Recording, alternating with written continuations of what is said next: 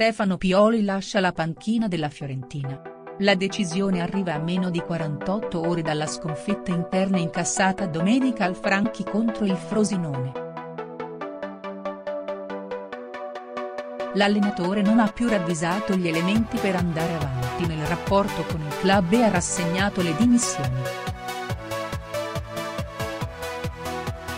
La mattinata di Pioli era iniziata con un confronto con il direttore generale dell'area tecnica Pantaleo Cordina e con la squadra, al termine del quale il tecnico ha lasciato il centro sportivo dove nel pomeriggio avrebbe dovuto guidare l'allenamento.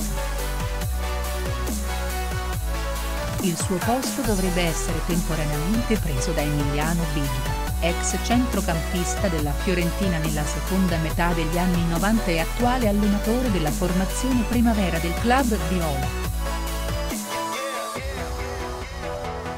Pioli, costretto a lasciare, messe in dubbio mie capacità. Stefano Pioli ha spiegato all'Ansa i motivi delle sue dimissioni, sono stato costretto, ha puntualizzato.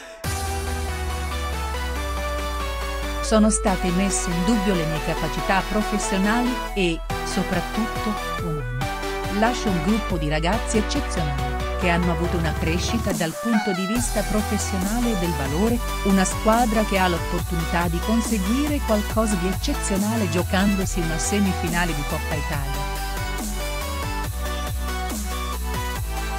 A seguito di questa scelta dolorosa, ha proseguito l'ex tecnico Viola.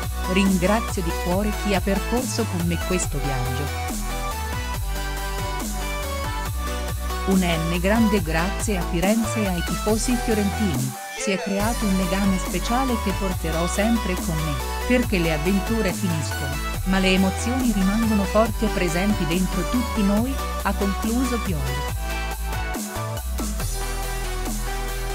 L comunicato della dirigenza alla base delle dimissioni. Pioli dice addio alla Fiorentina 20 mesi dal suo arrivo, datato giugno 2017.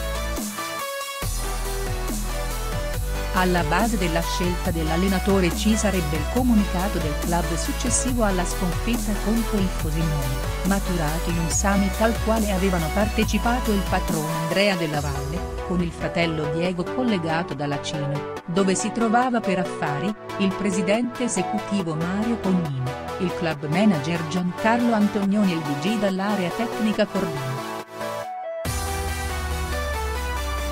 Nella nota, la proprietà si diceva non disposta ad accettare quel che sta accadendo da qualche mese a questa parte e chiedeva a Pioli di gestire il momento con la competenza e la serietà che ha dimostrato nella prima parte del campionato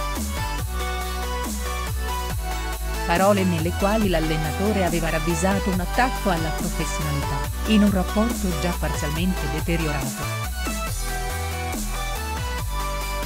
Dopo la sconfitta del 15 marzo sul campo del Cagliari, lo stesso Pioli aveva manifestato incertezza sul futuro in panchina, dopo due anni ho deciso cosa mettere sul piatto, erano state le sue parole ai microfoni di Sky Sport, quando sarà il momento e ci sarà l'incontro ho le idee chiare su cosa ha funzionato e cosa no. Ma non ho deciso di andare via, tantomeno di rimanere.